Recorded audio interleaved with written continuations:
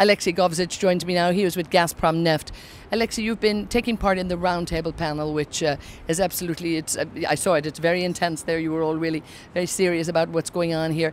Um, an interesting development here at ADIPEC too, but this roundtable panel really looking at the state and the challenges in the upstream. From your perspective, what do you see as the big challenges?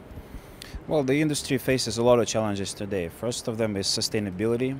Uh, second one, we're going through the it's a disruptive environment. You know, everybody's talking about digital, everybody's talking about partnerships, but uh, there are probably ways to do it better. So that was a discussion: how do we do partnerships better? How do we manage digital uh, uh, offerings better? What do we do with it? Are we being smart about it? And so on and so on. And obviously, uh, one of the major factors that make it all happen and make it all successful is people. So we've discussed if we invest enough in people, if we do the right investment, we're looking for the right people, or are we doing it correctly? So that's that's pretty much the major topics of discussion. Now, of course, with Gazprom Neft, you have many alliances around the world. You have many joint ventures. You have a lot of interest and investments around the world. How do you find getting the right people in place and making sure that your operations are actually building up to those challenges?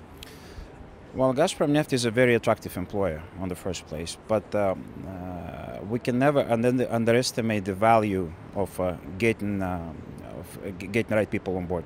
Okay, it, but it's always hard. You know, the good people they're all taken.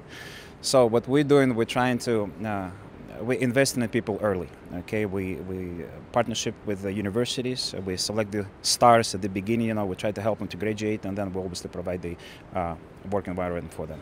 So that's one of the tools that we're using. How do you find these roundtable discussions? I mean, it's very important. We see some very senior people in there really taking the time to actually dissect what's going on here and share experiences and share that knowledge here. How important is this at this high level to make sure that you guys are all talking together and sharing these knowledge?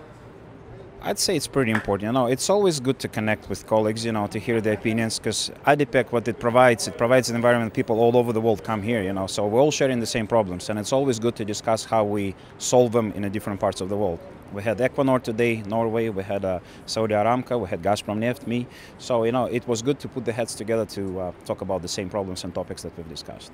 And just in general terms, you've been here at ADIPEC, you've been here with us before here. It's getting bigger, it's getting busier. Um, are you getting to meet all the people you need? The ministers are here, the CEOs are here. It's, it's really uh, quite dynamic and quite exciting these last few days, isn't it? Well, you said it. It's very exciting. It's, it's getting really big and it's getting really nice and it's, it's, it's a great event. I'm sure we'll come back next year and uh, it's great.